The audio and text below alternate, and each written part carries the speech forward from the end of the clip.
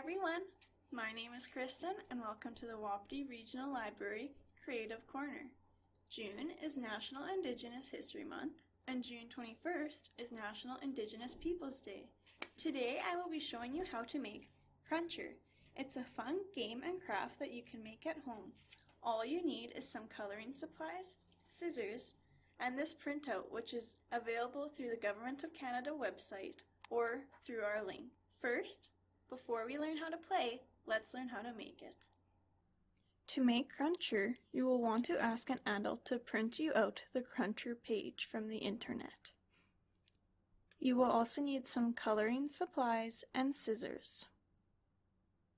Start off by coloring in your Cruncher page however you would like. Once your page is colored, you are going to cut all around it on the dotted lines.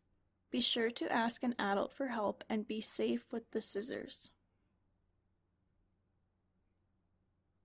Once it is cut out, you are going to turn it around so your colored side is facing the table. Fold your corners inward towards the center.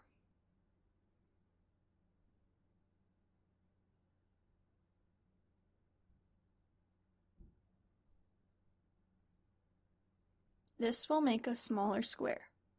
You will then turn your square round so that the words are facing up, and once again fold your corners into the middle.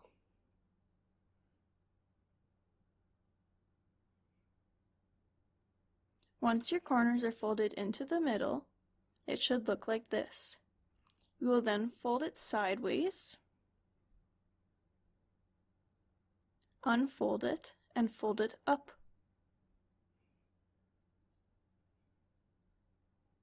You will see at the bottom there will be a fold. This is where you stick in your pointer fingers and your thumb, as seen.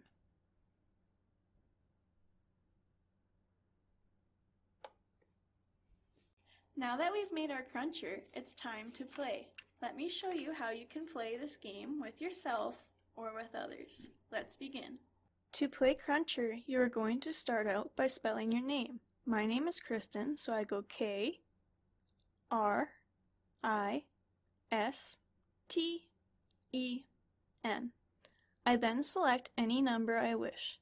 I'm going to pick 4, so I go one, two, three, four. I will then pick another square. For this, I am going to pick number 1. Open up your cruncher and read the fact on the top triangle. It will ask you a question, pick an answer. I am going to guess true. It tells you where to go for the answer to the question. For this question, it said go to number 5. So I find the number 5, open it up, and the answer is on the bottom triangle. Play it with friends for lots of fun. Hope you enjoy.